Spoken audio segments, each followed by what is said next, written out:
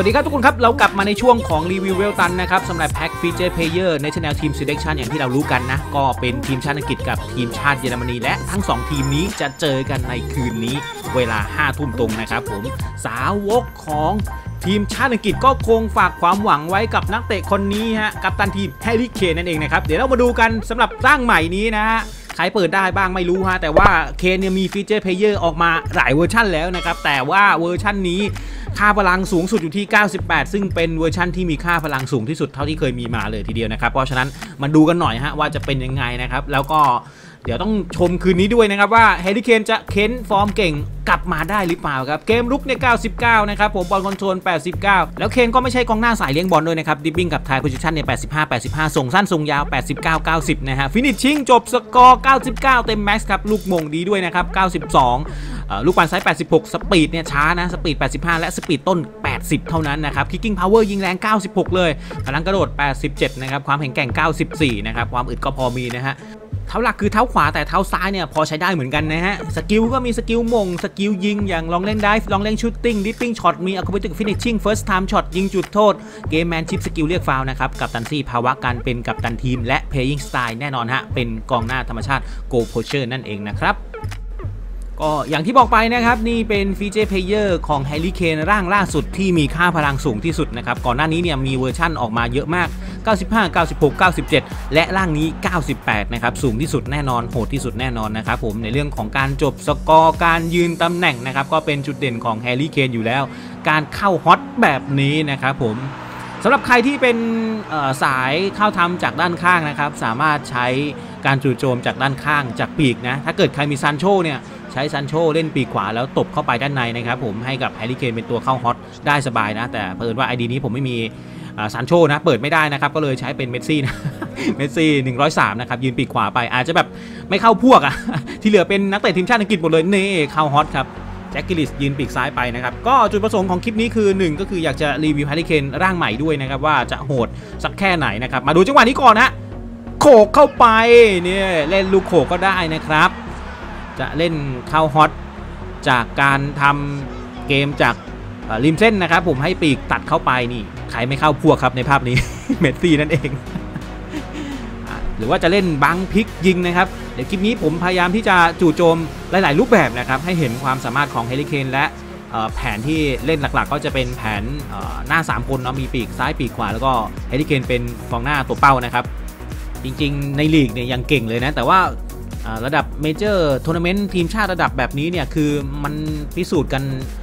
ด้วยการแข่งขันไม่กี่นัดไงเพราะฉะนั้นนะฮะเราก็จะเห็นว่าทัวร์นาเมนต์ทีมชาติใหญ่ๆ ระดับ major มาแบบนี้เนี่ยก็จะเห็นนักเตะที่โชว์ฟอร์มเด่นนะครับผมกับทีมชาติแต่ว่ากับสโมสรเนี่ยอาจจะแบบดูเงียบๆหรือไม่ค่อยดังนะฮะแต่มาบูมมาในทีมชาติก็มีหลายคนตุ้มเข้าไปเนี่ย จุดเด่นของแฮร์รี่เคนนะครับก็คือเป็นกองหน้าที่จบสกอร์ดีมากนะครับและ kicking power ร่างนี้นี่96 นะครับ เพราะฉะนั้นสายยิงไกลเล่นได้แน่นอนนะครับ มีสกิลสนับสนุนในการยิงไกลไม่ว่าจะเป็นยิงพุ่งๆแบบนี้ หรือว่าจะยิงปั่นนะฮะหรือยิงแบบไม่ติดสปีดยิง dipping shot ติดมุดมุดก็ได้นะครับ หรือว่าจะรอเข้าฮอตโดยให้ปีกเนี่ยตัดเข้าไปแล้วแตะแบบนี้แล้วหวดบางคนอาจจะเล่นกองหน้าสไตล์แบบนี้ไม่เป็นนะ เพราะว่าถ้าเกิดเราเล่นเน้น ทงทะลุช่องหรือเน้นโยนหรือใช้สปีดของนักเตะอะแฮร์รี่เคนไม่มีสปีดนะครับผมคือมีแต่มีช้า ไม่ได้เร็วนะครับผมออกตัวเนี่ยโดยเฉพาะจังหวะออกตัวเนี่ยแทงทะลุช่องอาจจะต้องต้องเป็นจังหวะที่ได้เปรียบจริงๆอะถ้าเกิดเป็นจังหวะแทงแล้วต้องวิ่งแข่งกับกองหลังลำบากนะครับพลิกลูกสวยมากเลยลูกนี้โคตรชอบเลยฮะโอ้โหแล้วยิงเยอรมันด้วยนะ บอกเลย อันนี้แมสตช์ที่เจอเยอรมันพอดีนะครับมาพลิกสวยมากอะโอ้โหคืนนี้อยากจะให้ ค้นฟอร์มเก่งมาถูกนัดจริง ๆ อะ ดูฮะ แตะแล้วเข้าซ้ายมาแตะมาเข้าขวาแต่ว่ายิงซ้ายแล้วเสียบใต้คานสามเหลี่ยมอย่างสวยเลยโอ้ยอยากจะให้โชว์ฟอร์มเก่งๆหลายคนนะ ไม่ใช่แค่ทีมชาติอังกฤษนะเยอรมันด้วยครับ คือเราเห็นแล้วนะว่ารอบ 16 ทีมเนี่ยแต่ละคู่เนี่ยโอ้โหซัดกันดุเดือดฮะฝรั่งเศสก็แพ้ไปแบบสุดมันอะเอ็มบัปเป้นี่ยิงจุดโทษไม่เข้าแต่ว่าในเกมสู้กันอย่าง สุดมันนะโอ้โหสเปนก็โอ้โหคู่ไหนก็มันๆผมอยากจะให้นักเตะเก่งๆอะโชว์ฟอร์มดีๆ ในรอบนี้ไงสู้กันมันๆไปเลยใครแพ้ใครชนะก็เรื่องหนึ่งนะแต่ว่าอยากจะให้โชว์ฟอร์มกันเก่งๆอะดูกันแบบอุตส่าห์อดตาหลับตานอนนะฮะนี่จะเป็นอีกลูกหนึ่งที่ยิงดีนะครับแฮร์รี่เคนยังอยู่ที่เยอรมันนะครับนี่พลิกหลุดโอ้โหสีดรายล้อมไปด้วยสีดำแต่ว่าแฮร์รี่เคนยังหามุมยิงได้คือคือเขาไม่ได้มีจุดเด่นในเรื่องของ ball control หรือว่าการเลี้ยงบอลหรือว่าสปีดหรือการกระชากนะครับ เพราะฉะนั้นเราต้องกะจังหวะดีๆอะเนี่ยคืออาศัยความแข็งแกร่งด้วยส่วนหนึ่งนะครับแล้วพยายามเล่นให้น้อยจังหวะมากที่สุดนะฮะเป็นตัวจบสกอร์คอยจบอย่างเดียวนะครับอย่าพยายามให้บอลกับแฮร์รี่เคนแล้วใช้เขาเลี้ยงบอลนะ แต่จังหวะนี้มันก็ต้อง fake แล้วปั่นฉลับเอาใหม่เอาใหม่มายัดสปีดหนีแบบนี้แล้วตูมเข้าไปแบบนี้แหละยิงยัดเข้าไปเลยนะมีสกิลยิงแรงอยู่แล้วนะครับ มา วิ่งแบบนี้ต้องออกตัวมาสปีดน้อย แต่ต้องดูจังหวะดีๆ แตะเหลี่ยมนิดนึงนี่เล่นทางไปเลยนะครับ ถ้าเป็นจังหวะแทงทะลุช่องต้องดูจังหวะดีๆนะ เพราะว่าสปีดเขาน้อยโดยเฉพาะสปีดต้นนะครับ ต้องดูลายดีๆอะนี่แตะแล้วแต่ดีตรงที่หาช่องดีไง Offensive Awareness เนี่ย 99 นะครับ เพราะฉะนั้นหาจังหวะดีหาช่องดีตุ้มเข้าไป คือหาตำแหน่งดีอยู่แล้วนะครับ หาช่องดีอยู่แล้วนะฮะ ไม่ใช่รีโมทนะหาช่องดี คือหาช่องดีแต่สปีดอะต้องระวังนะครับ เราอย่าไปใช้จังหวะแทงแล้วต้องวิ่งแข่งแบบเอ็มบัปเป้ไม่ใช่สายนั้นแน่นอนนะฮะตรงกันข้ามเลยนะครับ มาดูจังหวะนี้ตุ้มยิงจังหวะเดียวแหมช่วยกาดเกือบเข้านะมาดูหลายๆจังหวะเนี่ยถ้าเป็นแทงทะลุช่องต้องแบบต้องแบบเหลี่ยมดีๆอะเน้นชัวร์ๆเลยนะครับ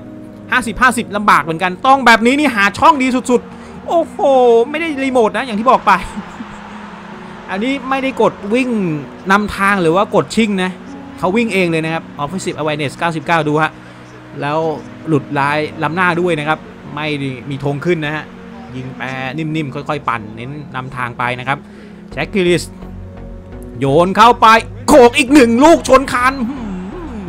ช่วงนี้จะว่าไปก็เข้าสู่ช่วงปลายภาคของ PES 2021 แล้วนะครับ เหลือไม่กี่เดือนก็จะได้ เล่น PES 2022 กันแล้วนะ เพราะฉะนั้นนักเตะร่างใหม่ๆ ออกมาเนี่ยมีค่าพลังโหดกว่าร่างเก่าก็เป็นเรื่องปกติแล้วนะครับ เป็นซีซั่นแบบนี้นะครับผมคือถ้ามีร่างใหม่ที่ค่าพลังน้อยกว่าก็ไม่มีคนเปิดถูกไหมเพราะฉะนั้นนี่ก็เป็นการตลาดนะ เราก็เล่นให้เต็มที่ฮะทุกๆ ปีที่เกมจะมีการเปลี่ยนภาคผมก็จะพูดแบบนี้เสมอนะครับ ว่าเราเล่นกับปัจจุบันให้ให้สนุกก็พอครับ ถึงแม้ว่า Featured Player แบบนี้จะ อยู่กับเราได้อีกไม่กี่วันหรือไม่กี่เดือนนะครับ ก็เล่นให้เต็มที่เล่นมีความสุขกับวันนี้ก็พอครับอย่าไปซีเรียสนะแต่ถ้าหากว่าคุณมีร่างเก่าอยู่แล้วอย่างร่างที่มันตัน 97 อะไรแบบนี้เนี่ยถ้าไม่อยากเปิดใหม่ก็ไม่เปิดก็ได้ครับว่ามีร่างใหม่มาผมก็มีหน้าที่ต้องรีวิวให้ดูใช่ไหมว่ามันจะเป็นยังไงบ้างนะครับผมแต่ถ้าเกิดว่ารีวิวไม่ทั่วถึงก็ต้องขอไปด้วยนะครับมีหลายคนที่แนะนำอยากจะให้รีวิวคนนั้นคนนี้มาเนี่ยแต่ละคลิปผมก็ใช้เวลานานก็อย่างที่บอกไปนะฮะ ไม่ทั่วถึงก็ต้องขออภัยด้วย แต่จังหวะนี้เนี่ยยิงแรงได้ไงไม่รู้ฮะทุกคนงงมากเลย คือวิ่งย้อนกลับมาแล้วยิง เหมือนจะเข้าหัวเกือกนะดูฮะดีดด้วยหัวเกือกมันก็เลยแรงงงเหมือนกันนะวิ่งถอยหลังมาแล้วยิงแรงได้อะดูได้หลายจังหวะนะครับเนี่ยต้องพยายามใช้เหลี่ยมให้ดีอะให้เป็นประโยชน์ทางซ้ายเอาใหม่สิครับ แตะแล้วยิงเลยนี่ แน่นอนครับร่างใหม่ก็ต้องโหดกว่าร่างเก่าอยู่แล้วนะครับผมโดยรวมนะ แต่ว่า